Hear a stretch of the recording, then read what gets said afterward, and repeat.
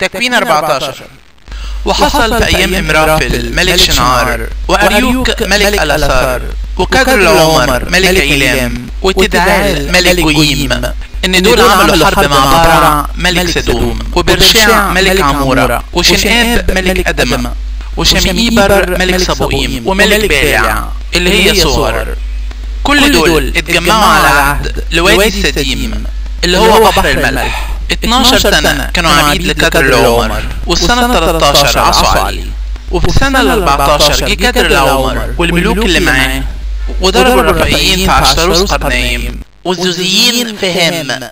والإيميين في شبك ريتايم والحريين في الجبل بتاعهم سعير لحد شجرة بلوط فران اللي عند الصحراء. بعدين رجعوا وجم لعين مشباط اللي هي قادش وضربوا كل بلاد العمالقة.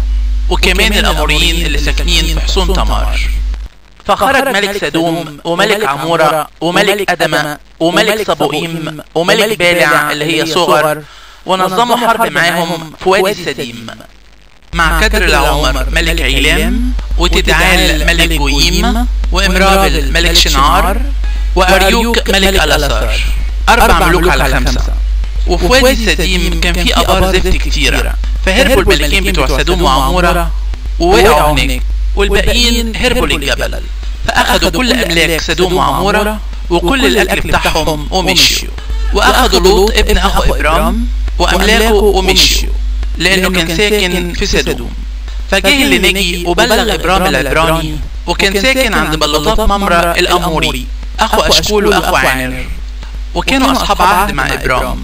فلما سمع إبرام إن أخوه اتأثر جرى الصبيان بتوعه اللي متمرنين اللي اتولدوا في بيته 318 ومشي وراهم لدان وقسم اللي معاه عليهم بالليل. هو والعبيد بتوعه. فضربهم ومشي وراهم لحد حوبة اللي على شمال دمشق. ورجع كل الأملاك. ورجع لوط أخوه والأملاك بتاعته والستات كمان والشعب. فخرج ملك سدوم عشان يستقبله. بعد ما رجع من ضرب كدر العمر والملوك اللي معاه لوادي شوي اللي هو وادي الملك. وملكي صادق ملك شليم خرج عيش وخمرة وكان كاهن لله العالي وباركه قال متبارك إبرام من الله العالي اللي خلق السماء والأرض. ومبارك الله العالي اللي سلم أعدائك في إيدك. فإداه عشر من كل حاجة. وقال ملك سدوم لإبرام اديني النفوس. وأما الأملاك فخدها لنفسك. فقال إبرام لملك سدوم رفعت ايدي للرب الإله العالي اللي خلق السماء والأرض.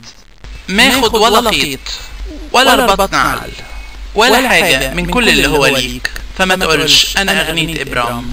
ماليش غير اللي كلوا الصبيان وأما نصيب الرجالة اللي راحوا معايا عانر واشكول وممرة فهم ياخدوا نصيبهم.